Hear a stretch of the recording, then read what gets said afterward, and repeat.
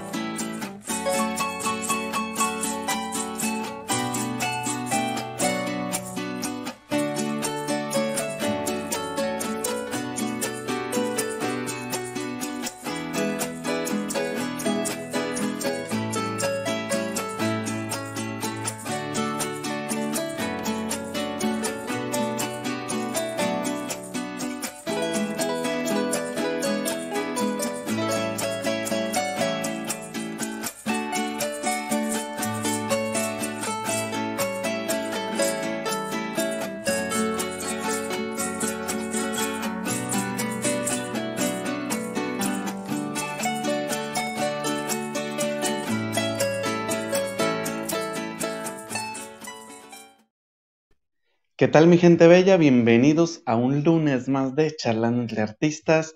La verdad es que el programa de hoy va a estar muy bueno. En lo personal, el invitado de hoy es una persona que admiro muchísimo ya que fue mi primer maestro en, como tal en la música académica. Gracias a él aprendí a leer partitura y aprendí a tocar saxofón. Pero bueno, como ustedes saben, ya casi se nos acercan unas pequeñas vacaciones de charlando entre artistas. Este programa lamentablemente no ha podido ser en vivo, pero pues aquí lo traemos con toda la actitud. No nos pudo acompañar José Eduardo, pero estamos aquí como si nada. Y pues, como bien saben, el siguiente programa es el último programa de este año 2022 que ha estado lleno de sorpresas, ha estado lleno de felicidad y sobre todo de bastantes risas y muy buenas anécdotas.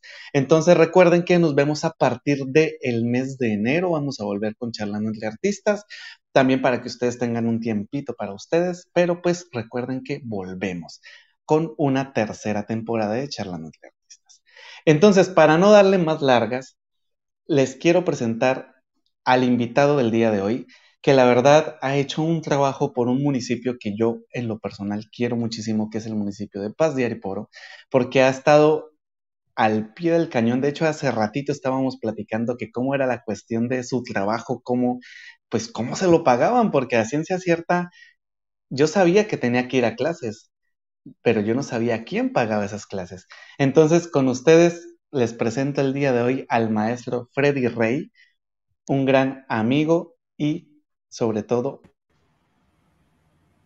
Ay, perdón, es que estoy moviendo todo aquí en mi celular. Bienvenido maestro, ¿cómo está? Gracias Jonathan, muy bien. Eh, pues alegre de estar en su programa, y por la invitación por supuesto y pues nada, aquí estamos.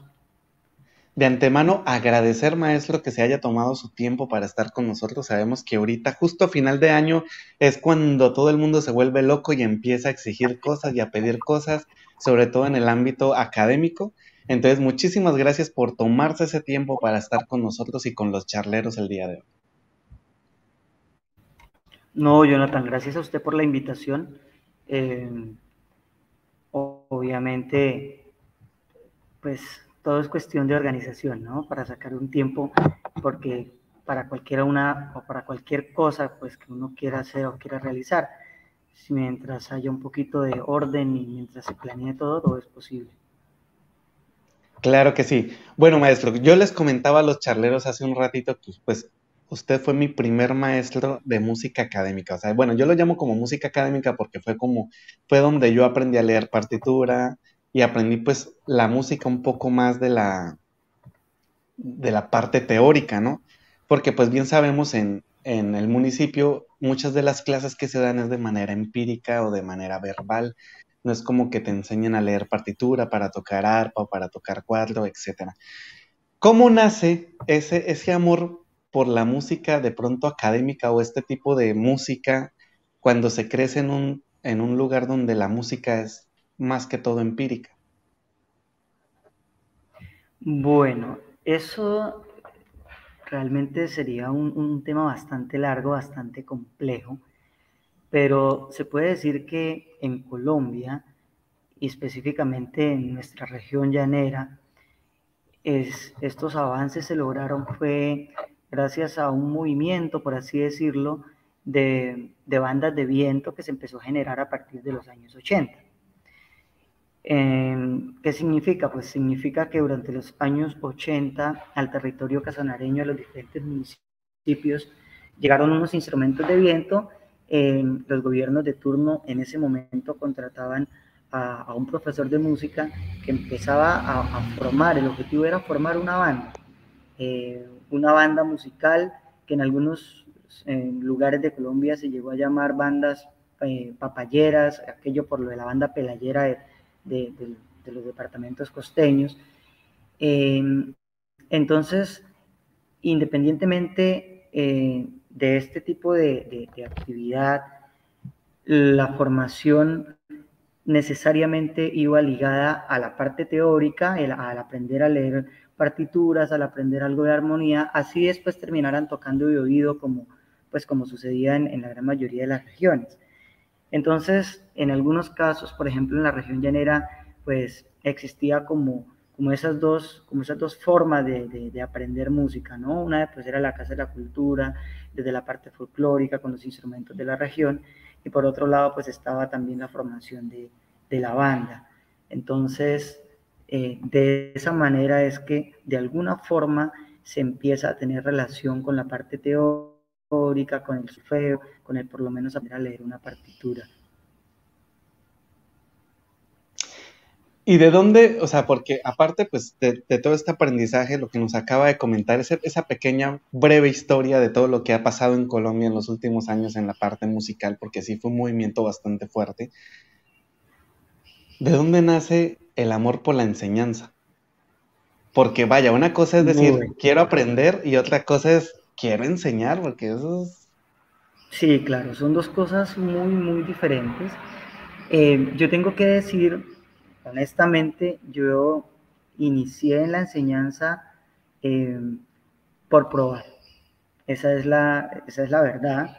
Eh, en ese momento yo no estaba 100% seguro de que realmente quería dedicarme a la enseñanza, porque pues primero nació el, el amor por la música, por el interpretar.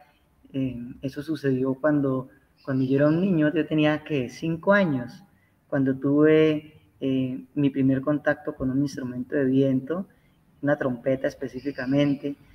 alrededor mío pues miraba cómo se interpretaba la guitarra, el cuatro, eh, el saxofón, el acordeón de teclas, hasta un clavecín que, pues, que, estaba, que tenían en casa de mis abuelos. Entonces siempre la música estaba ahí, familia pues musical, por así decirlo, 100%, tíos, primos, eh, cantaban música llanera, escribían música llanera, bueno, etcétera, etcétera. Entonces primero nace ese, ese, ese amor por la música pero empiezo a estudiar, en el caso la trompeta, que fue mi primer instrumento, pues después de haber visto algo por ahí de flauta dulce, eh, así como dicen algunos, yo empecé tarde, empecé a los, a los 12 años, a pesar de que el primer contacto había sido muy de niño, pues nunca me dejaban tocar la trompeta, no, no, no, como que está muy pequeñito, me la va a golpear, me la va a dañar. Entonces, fue a los 12 años realmente, iba a cumplir los 13. Eh, a los ya a los dos años ya estaba tocando pues la trompeta con un, con un buen nivel, por así decirlo. Eh, en algunas agrupaciones y cuando terminé el colegio, eh, pues yo ya llevaba bastantes años de formación dentro de, la, dentro de la misma institución con el proceso que se adelantaba de la banda musical. Entonces me dice, se acerca, va a buscarme a la casa el, señor rector eh, Antonio María y me dice, venga, yo necesito a un muchacho así como usted, juicioso, que quiera empezar a formar la banda. le dije, pero, pero pues yo, yo no sé de, pues de, formación y, y, pues yo solo toco la trompeta y por ahí algo de percusión. Dijo, no, chino, eso se aprende y, y bueno, me comentó acerca de un programa que había. Entonces, eh, pues dije, vamos a explorar empecé a explorar y, me enganché, me enganché con, la enseñanza, eh, porque fui descubriendo primero la necesidad que, se tiene, o en ese momento se tenía, era muy evidente, quizá hoy día todavía se, sigue teniendo, pero quizá no es tan notorio, ¿no? La necesidad que, que se tenía de tener personas que enseñaran la música de una manera que fuera agradable. Es decir, de alguna forma la persona que quería empezar a aprender música se enganchara y, si le gustaba la música le siguiera gustando y no por el contrario, que si le gustaba dejara de gustarle por culpa del docente o de la persona que le enseñaba, pues que era algo realmente muy habitual en, pues en, aquellos, en aquellos tiempos. Y digo muy habitual porque eh, Usted sabe muy bien que a las casas de la cultura llegaba a enseñar un, músico excelente, sí, porque son excelentes músicos, la gran mayoría de ellos, pero que para la parte de la enseñanza y de la pedagogía, pues no. O sea, eh, ahí es donde creo que, que, tiene que haber, pues primero tener, tener la experiencia, ¿no? Segundo, el, el poder disfrutar de, de la enseñanza, conocer la, la, didáctica, así sea de manera empírica. Yo conozco eh, profesores de música empíricos, es decir, que no tienen un título profesional, pero que tienen una didáctica y una pedagogía de la enseñanza que uno dice, wow, o sea, a veces no la tienen ni, ni los que son profesionales. Pero asimismo hay otros pues que, que son excelentes músicos, pero a la hora de enseñar eh, se quedan cortos, quedan cortos en, en, pues, en eso, en realmente hacer que el estudiante se enamore de la música. Entonces, eh, a partir de ahí, pues me, me, enganché, terminé un programa que en ese momento tenía el Ministerio de Cultura Nacional que se llamaba Los Nuevos Directores de Banda Sinfónica, en el cual nos formaban por medio de talleres, eh, recibíamos talleres de cada uno de los instrumentos que en ese caso hacían parte de la banda sinfónica, es decir, desde la flauta traversa, instrumentos de viento, desde la flauta traversa hasta la tuba y toda la percusión. Esos talleres se hacían de manera programática, eh, cada mes era un taller diferente, en un lugar diferente al cual uno llegaba y estaba como como aislado, por así decirlo, durante una semana, pues estudiando para luego poder venir a aplicar eso a los procesos de formación. Maestro, y por ejemplo, en la cuestión de la financiación, ¿no? Porque ahorita pues nos comentaba que llegó el rector, el maestro Antonio, que por cierto en algún momento tengo entendido que tocaba el saxofón o tenía un saxofón. Las dos cosas. Él, ah. interpretaba el saxofón, de hecho todavía tiene el, saxofón. el eh, jazz pues él había, él sí, él había estado en, es decir, él había aprendido a interpretar el sax cuando llegaron los instrumentos en, el año 82, creo que fue eso. Entonces él había estado en ese proceso de, pues, de aprendizaje y le gustó y se compró su saxofón y de hecho y todavía lo tiene pues él ya, él ya estaba, él, ya se retiró, ya es pensionado, retirado, pero igual tiene su saxofón allá guardadito en la casa, creo que ya no lo utiliza. Ah, si lo está vendiendo. Ah. bueno, y, dice toda esta parte, ¿no? Entonces, cuando llegan, lo, solicitan para que usted haga parte de, pues, del proceso de la banda sinfónica, de la formación y demás esos talleres que nos comenta ahorita que, que daba la gobernación, por ejemplo, ¿quién financiaba los viajes de eh, los maestros? Eso no era, el proyecto como tal no era de la gobernación. El proyecto como tal, los nuevos directores de banda sinfónica o banda musical fue un proyecto del Ministerio de Cultura. Ah, ok. Eh, es, significa el Ministerio de Cultura era quien organizaba toda la toda la parte de formación, era quien pagaba a los profesores, generalmente los profesores eran maestros de las diferentes universidades con toda la preparación del caso, eh, y se hacían convenios, que ahí era donde entraba a jugar un papel importante la, la Secretaría Departamental de Cultura, entonces en esos convenios, pues la Secretaría Departamental de Cultura era la que se encargaba de la logística, de la alimentación y el hospedaje, de todos los participantes a estos talleres. Entonces había una especie de convenio entre Meta y Casanare para la región llanera, entre Meta y Casanare, en el cual eh, ese era el núcleo Meta Casanare, entonces cuando le correspondía al Meta, pues teníamos, eh, viajábamos hasta Villavicencio y allá se llevaba a cabo el taller. Eh, los viáticos sí corrían por cuenta de cada una de las, de las personas pues, que asistían en representación de los municipios, es decir, los viáticos no, perdón, el transporte, lo que los viáticos, alimentación y hospedaje sí lo cubría, por supuesto, la, eh, el ente encargado, si era convenio Meta Casanare, si era en el Meta, pues el Meta, y si era en Casanare, lo, lo cubría la División Departamental de Cultura. Así funcionaba el convenio. Y hasta que, o sea, tengo entendido que hubo, hubo un tiempo donde se seguían dando estos talleres. De hecho, habían unos libritos, yo me acuerdo, unos libros muy buenos de banda sinfónica, donde pues habían métodos para saxofón y así. Sí. Yo me acuerdo del método de saxofón. Sí, esa historia es, es bastante chévere, fue un, muy buen programa. Pero ¿qué pasaba? Eh, el programa se tenía que finalizar, es decir, una vez se terminaban las 1255 horas más o menos de formación, existía un convenio eh, para que las personas que habíamos asistido pudiéramos eh, de alguna manera entrar a la universidad de la misma forma, es decir, más o menos semipresencial, hacer eh, cuatro semestres más, porque se suponía que eso era un, programa tecnológico, entonces con esos cuatro semestres más obtenías el título de licenciado o, de, o, músico en, cada una de las, de las diferentes áreas o instrumentos que, que tenían como instrumento principal. Eh, hubieron algunos inconvenientes al final con el, con el programa, entonces, yo, yo recuerdo tanto que cuando, cuando nos dijeron, no, eh, parece que una de, de, las, de las reglas que tiene el programa es que para que pueda entrar a hacer esos cuatro semestres casi que de la misma manera con estaba la Universidad Pedagógica, estaba el Conservatorio del Tolima, creo, y también estaba la Distrital. Es que el requisito es que tienen que ser mayores de 24 años, creo, 25 años y pues yo era uno de los más jovencitos, yo no aplicaba. Entonces, ¿cómo así?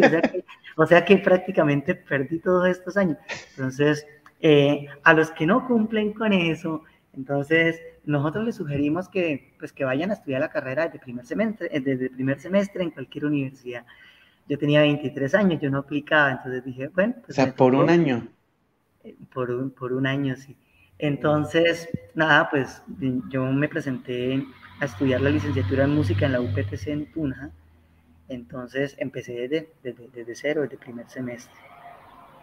Eh, el mm. programa, el programa, luego ese, programa todavía sigue. De hecho, eh, yo tenía entendido que hasta el año pasado todavía se seguían dando algunos talleres de formación.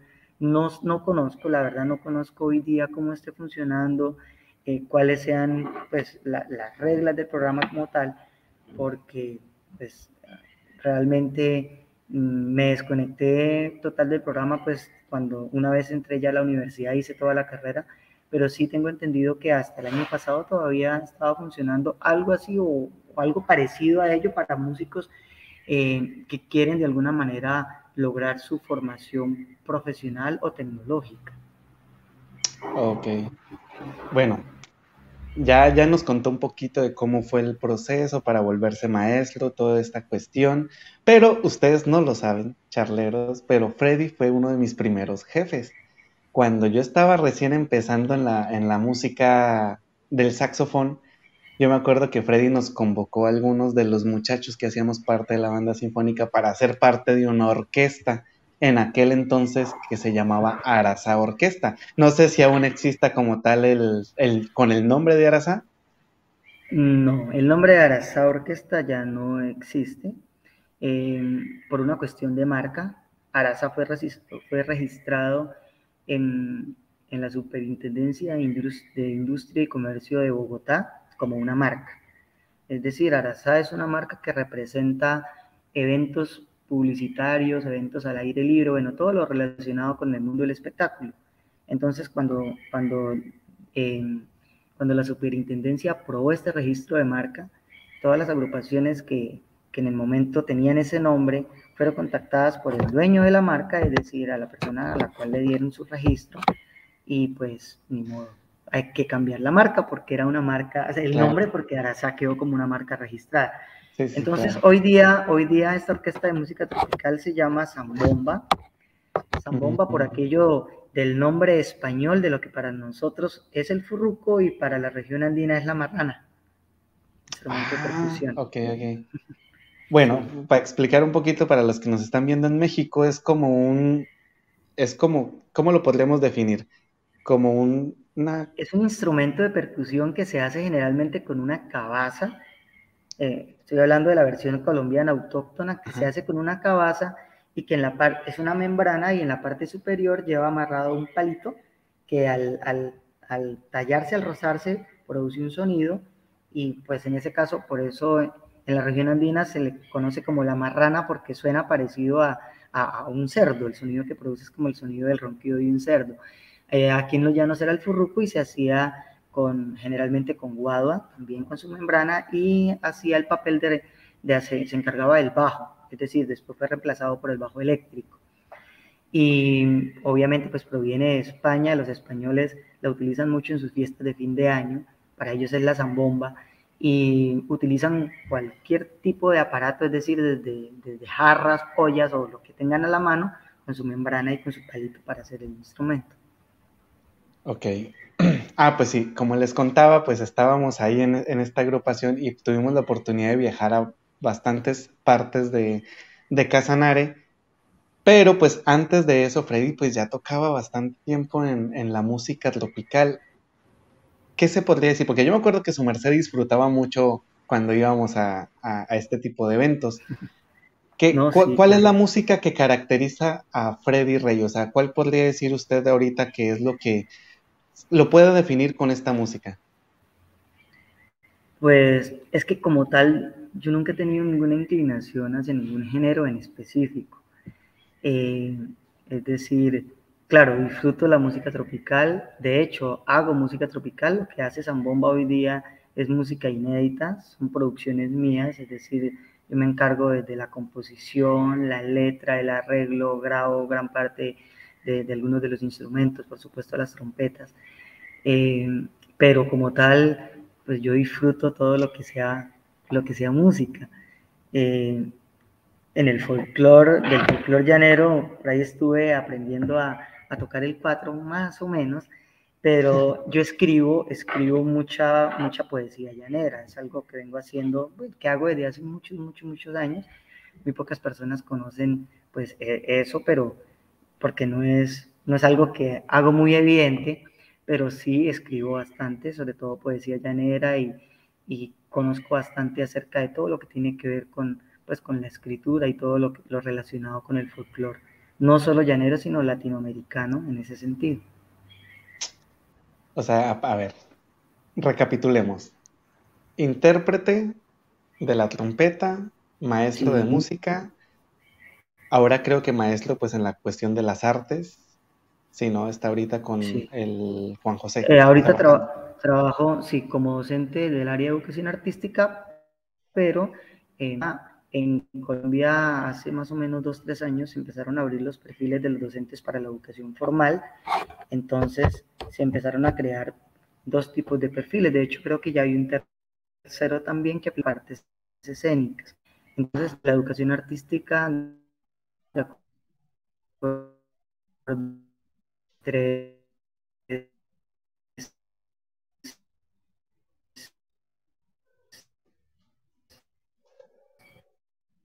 tres enfoques diferentes, artística, música. En mi caso, pues trabajo en la parte de educación artística, pero enfocado en la música. Ok, muy bien. Entonces, intérprete, maestro de música, en la cuestión de la artística, enfocado a la música, eh, director de una orquesta, bueno, director musical de una orquesta de música tropical, escritor de poemas llaneros y latinoamericanos, ¿Qué hace Freddy Rey en sus ratos libres? si es que tiene ratos libres. En, los ratos libres escribo, en los ratos libres compongo, no, ratos libres. Bueno, cuando tengo ratos libres, eh, pues, o cuando tengo algunos días libres, generalmente pues viajo con, pues, con mi esposa, con la niña, es decir, comparto mucho en familia. Eh, son los únicos momentos en los que me desconecto de todo lo que tenga que ver tanto con la escritura, con la música o con, la, o con el trabajo en sí. Pero el resto, no, o sea, los otros ratos libres o son para escribir o son para componer, pero siempre estoy escribiendo. Siempre está haciendo música. Eh, sí, no solo o, sea, decir, o escribo música o estoy escribiendo poesía, o siempre estoy haciendo muy, muy artístico. Con eso. Sí, claro. Yo, me acuerdo que, en aquel entonces pues estábamos todos muy jovencitos, ¿no? Estamos hablando de hace 14 años aproximadamente. No, más. 2005, 16 años, 16, 17 años aproximadamente. Sí, claro. Que, que, Freddy tenía sus temporadas, yo me acuerdo que todos llegábamos a estudiar, ¿no? Estábamos estudiando pero sabíamos que cuando, cuando el maestro estaba serio, era porque estaba haciendo algún arreglo loco de algún merengue. Porque él llegaba con su computadora, se metía en su oficina y todos calladitos nomás poníamos a estudiar porque, ay Dios mío, en aquel entonces, en aquel entonces era muy enojón. Ah, no mentiras, era muy serio el maestro, era muy serio, ¿sí? Y yo me acuerdo que luego salía peleándose con su computadora porque se le trababa la computadora porque no la pagaba por mucho tiempo y simplemente la dejaba invernando y perdía trabajo a diestra y siniestra, pero bueno. Ah, Maestro. ¿Qué, ¿Qué anécdotas nos puede usted contar así porque pues ya viendo que tiene varios perfiles, sí quisiera como que a ver si nos puede contar de pronto una historia de cada uno de los perfiles, ¿no? ¿Qué, anécdota nos podría contar usted así, de por ejemplo, en la cuestión de la dirección de banda sinfónica? Una que usted diga así, esto merece recordarse en este momento. A ver, pero relacionado con la parte netamente musical o... Lo que usted quiera. Vaya, el micrófono es libre. Bueno, una anécdota eh, desde, desde la parte desde la parte pues de la, de la enseñanza que es, es muy curiosa, es como, es decir, siempre que, que nos encontramos o que me encuentro con, con los muchachos de aquella época, pues la recuerdan, ¿no?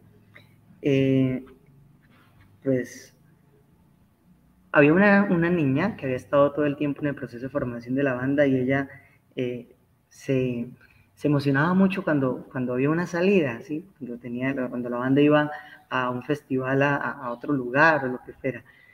Eh, solo que pues ella tenía un, pues un, un, pequeño inconveniente y era que tan pronto se subía al bus, a los tres minutos ya estaba mareada eh, y terminaba botando pues todo lo que se había comido.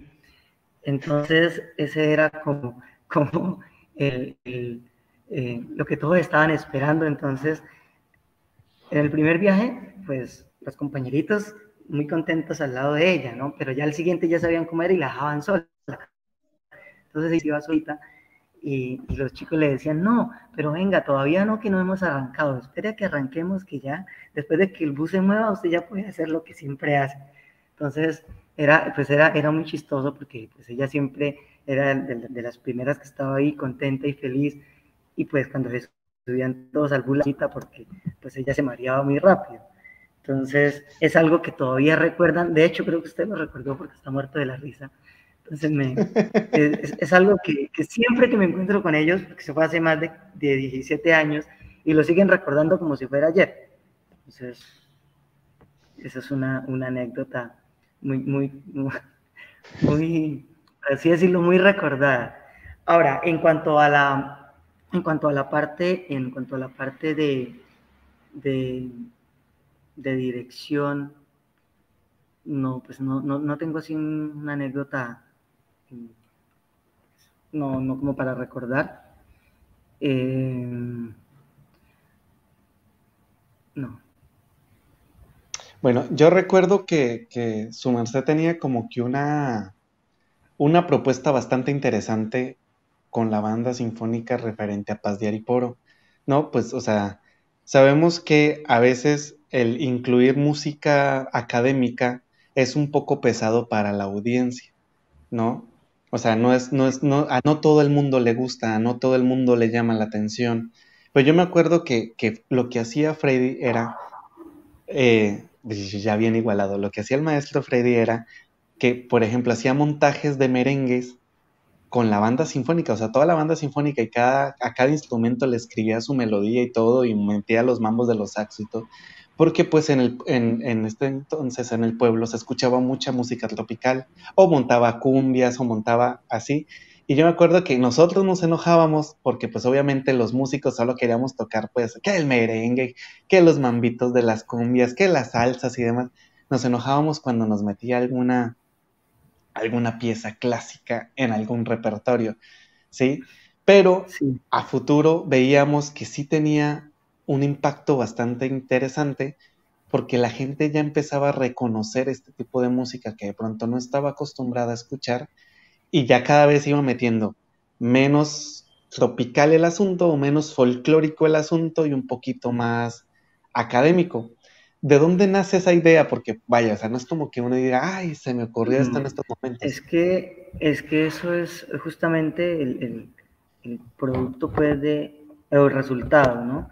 De saber qué se necesita para, primero para formar al, al, estudiante, al chico que, que, llega con esas ganas de tocar el instrumento y que como usted dice solo quiere tocar lo que está sonando radio y, y, y lo último que está sonando. Y, y, a la vez también educar, educar al público al respecto. Entonces es, es, un proceso en el cual se tiene que dar eh, un poquito de, de, los dos, de las dos cosas se va educando al público y el, el chico se va formando también de una manera, eh, por así decirlo, muy integral. Quizás la gente en las ciudades eh, no, entienden, no entienden esa parte, ¿no? porque la formación en, musical en la ciudad es diferente, pero si yo vengo a enseñar música y a formar una banda sinfónica en una, en una región apartada del centro del país o apartada de la ciudad principal y quiero hacerlo como lo hago en la ciudad, pues muy probablemente eh, no, no voy a lograr ese impacto y por el contrario eh, voy a terminar haciendo que las personas que, que quieren aprender eh, desistan de la idea. Entonces, eh, es buscar ese, ese, ese, equilibrio, ese punto en el cual, claro, lo folclórico y lo que usted está escuchando en la radio cuando va por la calle eh, puede funcionar y usted va a estar feliz, pero también puedes ir aprendiendo un poquito de lo otro que te va a formar más desde la parte eh, auditiva, desde la parte de conocer un poquito de la historia, de, de, la música, de, de, conocer un poquito acerca del mundo del arte y que se salgan un poquito de ese mundo del arte que ellos conocen.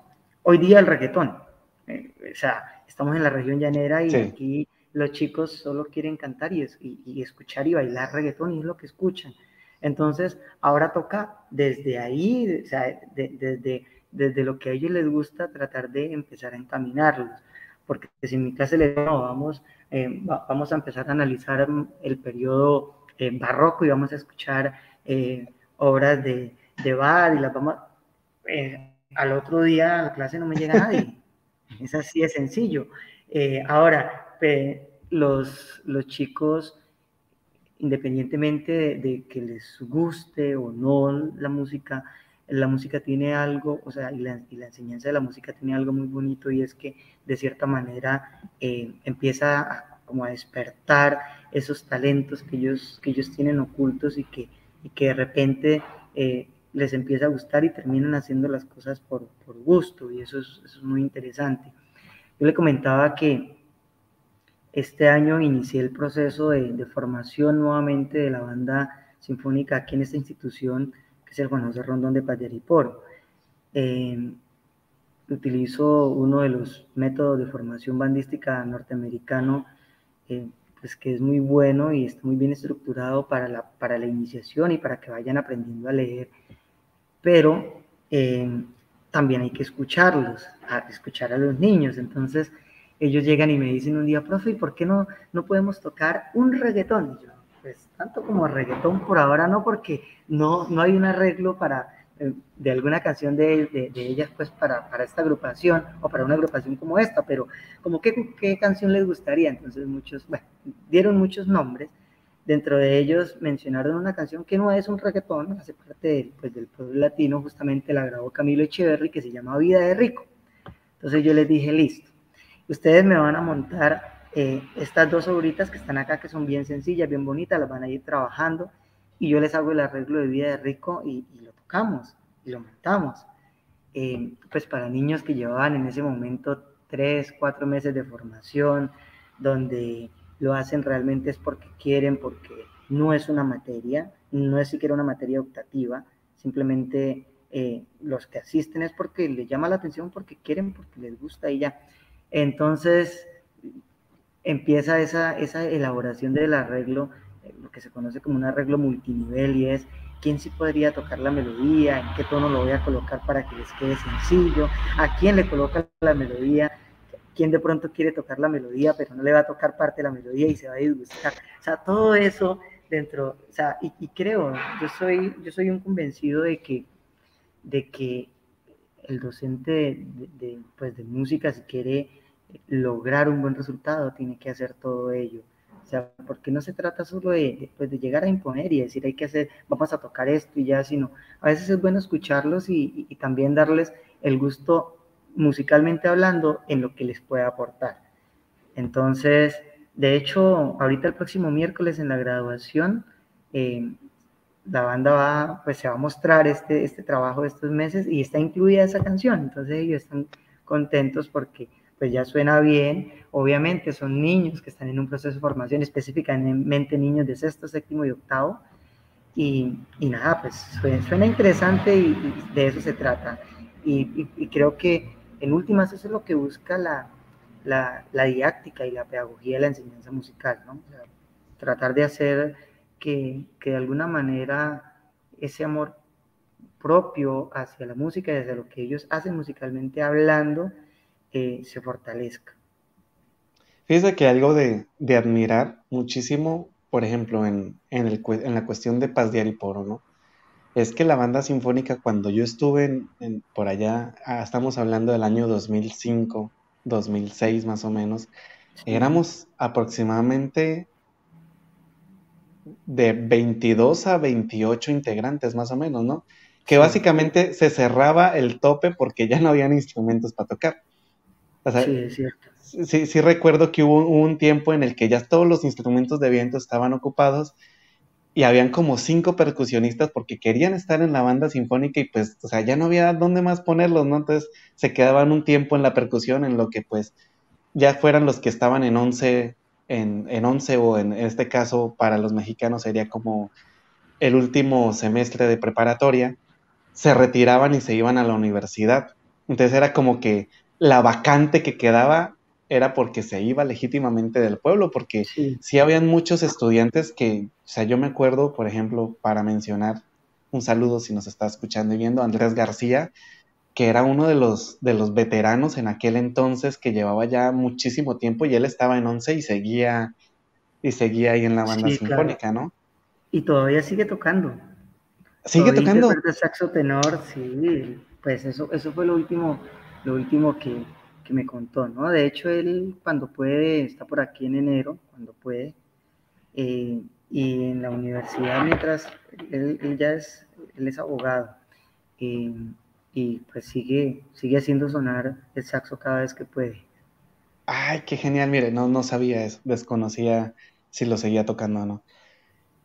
Y era, y era como que, que todos, o sea, to, todos teníamos como que la entrega y de hecho, o sea, nos entraba un nervio cuando íbamos a ensayo, porque ensayábamos de lunes a viernes. Yo me acuerdo que a partir de las 4 de la tarde estaba abierto el salón, ¿no? El ensayo de la banda empezaba como seis y media, siete, más o menos, de 7 a 8, 7 a 9. Generalmente, habían diferentes horarios, pero generalmente era de 6 a 8. Eso. Eh, después se adelantó un poco para que saliera más temprano, entonces ya era de 5 a 7. Sí, ese era más o menos el, horario de trabajo. Pero aún así estábamos, la mayoría de los, de los integrantes de la banda sinfónica llegábamos desde las 4 de la tarde. Obviamente echábamos como que recocha los primeros 40 minutos, pero ya después nos poníamos cada quien, o sea, sí se veían las bolitas, ¿no? Las trompetas en un lado estudiando el repertorio, los saxofones en otro lado. Y ya ni siquiera era necesario que Freddy a veces estuviera ahí como que diciendo, oigan, tienen que ensayar, ¿no?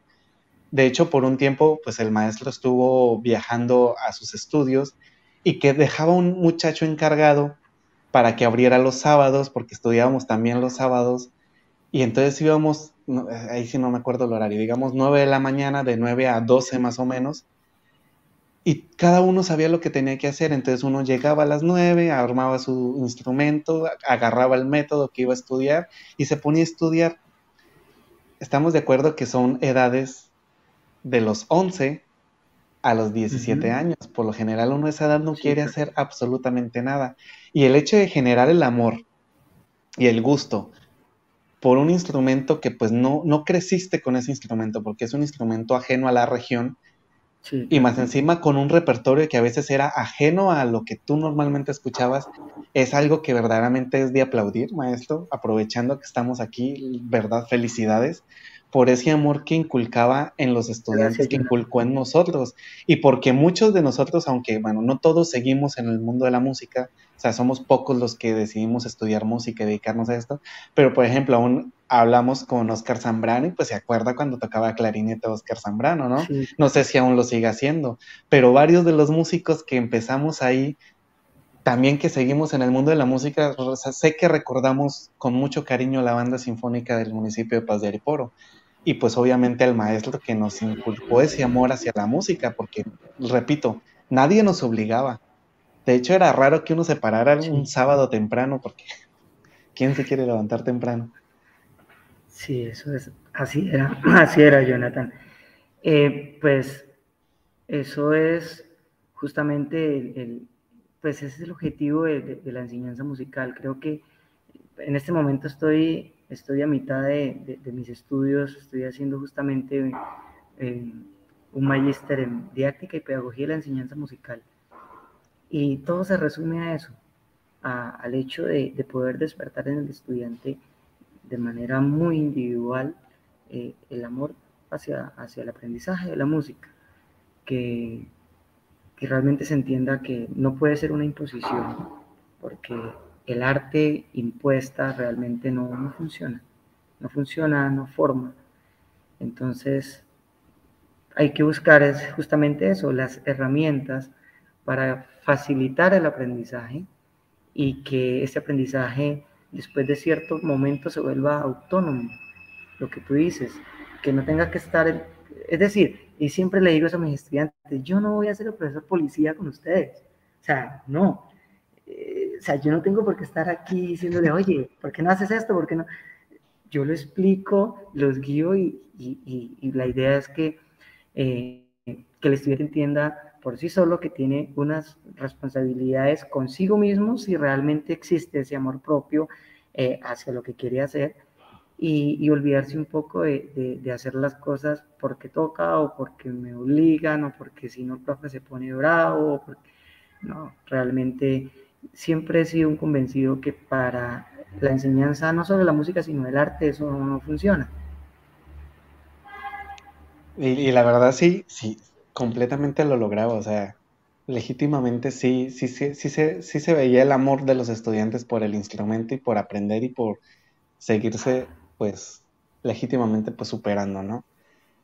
Maestro, ya nos ha contado así como que más o menos a gran escala todo lo que ha hecho en la parte musical, en la parte artística de su vida, pero cuando no está siendo, o sea, cuando Freddy Rey no está siendo artista, cuando no está componiendo en sus ratos libres, escribiendo poesía, ¿no? Por ejemplo, ¿qué le gusta hacer, hacer o sea, ¿qué, le gusta hacer a su merced en sus ratos cuando no está haciendo todo lo que está haciendo? Porque ya ni, digamos ratos libres, ¿no? Porque ya sabemos que no tiene. Pero, por ejemplo, le ¿qué, qué, series les gusta, que le gusta ver o, alguien así que está tan entregado al arte, ¿qué hace? ah, aquí aparece algo, algo muy curioso, ¿no? Y es... Eh, el deporte. Yo soy, sí, toda la vida he hecho deporte. No sé si usted recuerda, de hecho, en aquellos tiempos en los que se ensayaba los sábados, el ensayo se hacía de 8 a 10 de la mañana y de 10 a 12 teníamos el coliseo, la cancha cubierta para jugar y esa era, se había convertido en, en, en parte del proceso de formación, el ir a jugar, el ir a jugar eh, microfútbol y que pues era algo que se hacía casi todos los sábados. Entonces, ¿qué hago? Eh, siempre he hecho deporte, siempre. Eh, a veces me dicen, no, pero es que usted no tiene 38 años. Yo sí, yo tengo 38, voy para 39. Eh, sigo haciendo, pues sigo haciendo deporte, hago deporte a diario. sobre todo me gusta mucho y disfruto mucho jugar de fútbol y entreno siempre atletismo. O sea, me encanta, me encanta correr, me encanta correr, así como, así como disfruto mucho de, de, de, todas las facetas de la música, pues disfruto el deporte, me encanta correr, lo hago. De hecho, como es algo que he hecho, valga la redundancia, desde hace tanto tiempo, el cuerpo lo pide. Entonces, el, el día que yo no he hecho mi rutina de, de, de, atletismo, o al menos, al menos la actividad física, siento que algo me está faltando. Entonces es, curioso porque todas las personas, amigos y conocidos músicos, me dicen, bueno, usted que es, es, eh, es músico o es deportista. Yo no, pues las dos cosas, pero disfruto de las dos. en el colegio en el que estaba antes, cuando llegaban las visitas de Secretaría de Educación y que había reunión y eso, entonces me decían, su merced es el profesor de Educación Física. No, yo soy el profesor de Artes. sí, solía, solía suceder. Entonces, eso es lo otro que hago, es decir, eso es, parte de, ya tengo a diario la hora, le dedico una hora a ellos, es una hora que, todos los días eh, está programada y que las personas que me conocen lo saben y dicen, no, demore pasar el profesor ahí por enfrente corriendo, o sea, ya es, se parte de esa rutina diaria. Sí, ya yo me acuerdo que a los viajes que íbamos de la banda sinfónica, luego pues uno de chino, pues de joven, pues era loco, se paraba uno a las 6 de la mañana porque pues iba a ver como que a conocer el pueblito y demás, porque por lo general era pueblitos que no conocíamos, ¿no? Y, y era sagrado que si había por ahí cerca una cancha de fútbol, algunas graderías o algo, a las 6 de la mañana el maestro Freddy estaba como loco, subiendo, bajando graderías, haciendo abdominales, flexiones de pe, y nosotros así como que sentados viéndolo, obviamente la mayoría éramos gorditos comiendo pan, ¿no? pero, Pero, o sea, yo sí me acuerdo mucho que, que, sí, desde siempre ha, sido como que esta afición al, deporte por parte suya y que pues a veces rompe como que un, poquito el este, este estigma de los músicos, ¿no? Porque sí, el, estereotipo. El estereotipo, eso, gracias. Sí, claro. Porque por sí, es músico es legendario. Generalmente, generalmente. Pero no, sí, hay, hay, muchos otros músicos también que, pues, que disfrutan del deporte y que hacen deporte. Eso es, eh, es algo que, que es, es, bonito también aprender a disfrutarlo. Es, es, decir, todo lo que se hace por, por gusto y por disfrute eh, es bienvenido para, para la formación de, de, los seres humanos y para, para mantener un, un buen estado físico, una buena salud y todo lo demás. Yo pienso que es, es, igual, es igual que el aprendizaje de la música. Se una puerta bastante duro. Eh, hacer, hacer deporte de, como obligado, porque pues yo a diario miro mucho eso, ¿no? La, la, persona que, no, es que tengo que darme, hoy tengo que correr dos kilómetros, porque es que tengo que bajar de peso y es más como por, y no le funciona, no le, no le funciona porque creo que la, ciencia, la ciencia nos, ha enseñado y de alguna manera eh, es comprobable que, de acuerdo a, cómo asumamos ciertas posturas obtenemos ciertos resultados. Entonces, siempre, siempre he dicho eso, ¿no? Todo desde que se haga desde el disfrute, vienen los, los buenos resultados. ¿Y ese, ese amor al, al deporte, de dónde nace? O sea, ¿fue inculcado al igual que la música por la parte familiar? Mm, yo creería que un poco. Yo creería que un poco, sí, yo creería que un poco, sí. O sea, si uno analiza y piensa eso, yo creería que sí. Eh, porque son, son eh, costumbres eh, que se crean desde, desde niño, ¿sí? Y, y, de seguro si, si de niño nadie me hubiera dicho, venga, ¿por qué no te levantas y haces, haces esto? Pues de pronto nunca, quizá por, por voluntad propia lo hubiese iniciado. Entonces, en mi caso, por ejemplo, eh, yo recuerdo que de niño era mi, era mi, mi abuelito, que en paz descanse, el padre de mi madre, eh, una persona muy madrugadora y una persona pues muy, Mm, en ese sentido muy, muy entregado a, la actividad física. Entonces él me levantaba desde las cuatro y media de la mañana y me decía, bueno, ya es hora de levantarse, vaya a trotar, haga algún tipo de actividad. Entonces, claro, se, empezó a volver algo que se empezó a volver una, una, rutina diaria la cual ya no, ya no necesitaba porque él no estaba tiempo, ¿sí? Es decir, si él estaba tres, cuatro veces al mes en, la casa y, hacía, y así me decía eso, era mucho.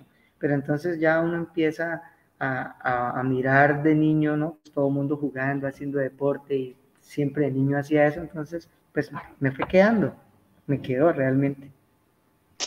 Interesante, vea pues. Bueno, maestro, y un consejo que le pudiese dar usted a las personas que estén iniciando, ya sea en el mundo de la música, en el mundo de la docencia, en el mundo del deporte, porque pues también es, un, es una disciplina bastante importante. ¿Qué les, qué, les diría? Bueno, lo primero es disciplina total. Es decir, tanto la música como el deporte, si hay algo que tienen en común, que, que es justamente eso, la disciplina. Es disciplina al 100% si no existe esa disciplina, tanto para los dos, ¿no? tanto para la, música como para el deporte, si no existe esa disciplina, pues es, muy complicado y es muy difícil que, se pueda llegar a lograr eh, algo en, cualquiera de estas dos. Eh, y para, para los chicos que quieren empezar en este, en este mundo de la música, eh, primero que todo, muchas ganas, porque sé que a diario escuchan, no, eso es muy complicado, ese mundo es muy difícil, eh, pero pues no hay nada difícil que con, que con mucho amor, con muchas ganas y disfrutando de lo que se hace no se pueda lograr. Entonces, sean cantantes, intérpretes de instrumento, percusionistas, compositores, cantautores, lo, lo que sea, todo se, se logra y si se hace desde el amor y desde el disfrute. Entonces, disciplina, amor, disfrute y, lo demás llega por añadidura. Esa es, ese, es el, ese es el mensaje que, les quiero compartir hoy. Eh, creo que si tenemos esas tres cositas, lo demás se va dando por sí solo, no hay que forzarlo. Muy bien, pues maestro, de verdad, muchísimas gracias por, por este rato que nos ha regalado el día de hoy. De verdad, tengo muchísimos recuerdos muy buenos de la banda sinfónica. De hecho, ya para como finalizar el día de hoy, yo me acuerdo que cuando yo era niño, a mí intentaron a mí, a mí, estoy hablando bien, pero a mí me intentaron enseñar música, me intentaron enseñar a leer partitura en el colegio, estaba yo en sexto de bachillerato, pues. Y yo me acuerdo que esta maestra creó un odio irracional de parte mía hacia la, hacia la música de lectura, hacia la partitura. Y yo le decía a mi mamá, yo jamás voy a leer esas bolas. Así, tal cual, sin ser grosero ni nada, pero era lo que yo le decía a mi mamá. Llega el maestro Freddy cuando yo estaba en octavo, en octavo grado, por ahí por el mes de septiembre, octubre más o menos de ese año, estamos hablando del 2000, si yo me gradué 2006 más o menos, no, miento, miento, 2005, para 2005, por allá, por allá, ah, hace muchos años, ¿no? para no entrar en detalles. Y, convoca a músicos para, para, para iniciar el proceso de la banda sinfónica y demás.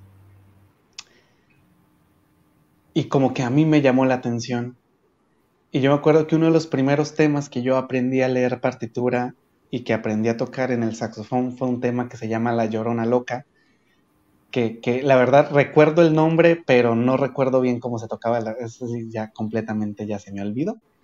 Pero fue como, un, fue como de, los, de los procesos, porque yo me acuerdo que justo hablando de Andrés García y de Jefferson Morales en aquel entonces que estaban en la banda sinfónica, ellos tocaban un mambito que se tocaba en La Llorona Loca. Y yo, le, yo me acuerdo que yo me le acercaba al maestro y le decía, maestro, yo quiero tocar eso. Y entonces Freddy ahí aprovechaba y sacaba, pues tienes que leer primero esto, ¿no? Entonces utilizaba como que ese, ese, esas ganas de tocar, esa, ese, ese gusto enfocado que yo quería hacer tal cosa y ya le iba metiendo uno todo el proceso para que uno empezara a leer partitura. Y gracias a Freddy Reyes que yo ahorita puedo leer partitura, si no, no hubiera podido aprender a leer partitura. Y convirtió ese odio legítimamente que yo le tenía, esa aberración a las, a las partituras, lo convirtió en una admiración total hacia la música escrita. Y la verdad ahorita muchas de las cosas que yo hago es, las escribo, porque aparte pues así no se me van a olvidar por completo. Y también funciona de un motor para compartirlo con otras personas que estén iniciando, ¿no? Entonces, yo en lo personal, y pues me tomo la, batuta de decir que todos los que hemos pasado por el proceso educativo del maestro Freddy Rey, le agradezco en voz, porque sí, de verdad, maestro, usted fue como que un pilar para muchos de los músicos que nos dedicamos a esto ahora, de querer aprender, de querer superarnos y sobre todo de querer avanzar hasta donde pues hemos podido llegar, ¿no? Entonces yo siento que Jonathan Dotena no hubiese llegado a donde tenía que llegar si no hubiese tenido un Freddy Rey en los años 2004-2005. Así que maestro, de verdad, muchísimas gracias por todo lo que nos ha compartido. Y también a manera de agradecimiento por todo el esfuerzo que ha hecho en el municipio. O sea, sé que le ha metido el hombro a Paz de Ariporo y que pues prácticamente ha sostenido en estos últimos 20 años lo que ha sido el proceso de la banda sinfónica del municipio de Paz de Ariporo. También muchísimas gracias porque hace que estos niños que van a tocar este jueves eh, Vida de Rico se enamoren. El miércoles, el miércoles, perdón. Se enamoren de la música académica y se enamoren de los instrumentos de la banda sinfónica. Muchísimas gracias. No, Jonathan, gracias a usted por la invitación eh, y que este también sea un espacio por, por si nos ven para, eh, para agradecerle a todos estos chicos que han estado en, en, en, en estos procesos de formación eh, a los niños de este año, a los, a los padres de familia de estos niños, porque les dan ese espacio también eh, para que ellos de alguna manera aprendan y, disfruten de la música a través del, del aprendizaje. Por supuesto, gracias a ustedes por esas palabras. Eh, siempre lo he dicho y, lo hago desde el corazón. Le doy a cada uno de mis estudiantes todo lo que, lo que él, es decir, le enseño y, le brindo todo lo que él pueda llegar a dar, pero siempre quiero ir un poco más allá, nunca me guardo nada, siempre ha sido así. Entonces es muy chévere eh, pues escuchar esas palabras de parte tuya, Jonathan, y pues de paso también que sea el espacio para saludar a todos estos muchachos, porque a veces me pasa y, y, de, antemano les pido disculpas. A veces me, me, encuentro a alguien en la calle y me saluda, hola maestro, ¿qué tal? ¿Cómo está yo? hola, ¿qué tal? Muy bien. Si me preguntan quién era, yo no puedo recordar quién era. O sea, ay, yo estuve en la banda, ah, súper chévere. Pues han sido muchos años y, y, para acordarme de todos los que han pasado por este proceso de formación, pues es, complicado.